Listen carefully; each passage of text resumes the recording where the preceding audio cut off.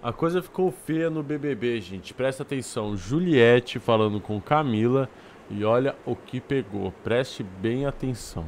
Caio disse que não iria votar em Juliette. O que ele fez? Votou. Juliette desabafou com Camila sobre isso e é o que a gente vai ver. Me desculpa se você está ouvindo algum barulho de chuva, é porque está chovendo muito forte aqui onde eu moro.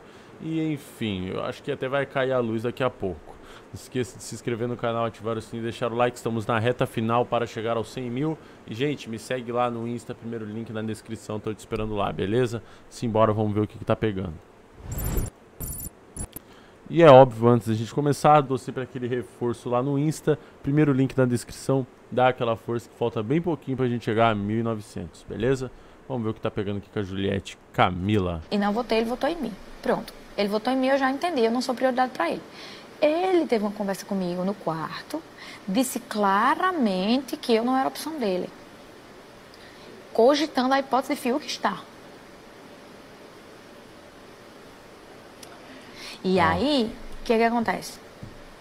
Hum. Tudo bem, votou, votou. Ele não me prometeu, ele só disse isso. Ele disse que não, que eu não era opção dele. Eu falei, tenho certeza, Caio? É, a bichinha é retada, vai para cima mesmo, hein? Juliette sem papas na língua. Que, que você acha da Ju? Você acha que a Ju tá certa? Tem que ir pra cima mesmo do Caio?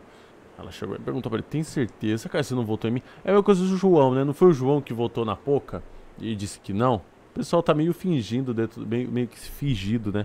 Dentro do BBB com medo de paredão, estão acabando mentindo. Mas, gente, é aquelas. Você pode ir pro paredão do começo ao fim do BBB. Quem elimina é o público, não a casa. A casa não elimina ninguém, quem elimina é o público.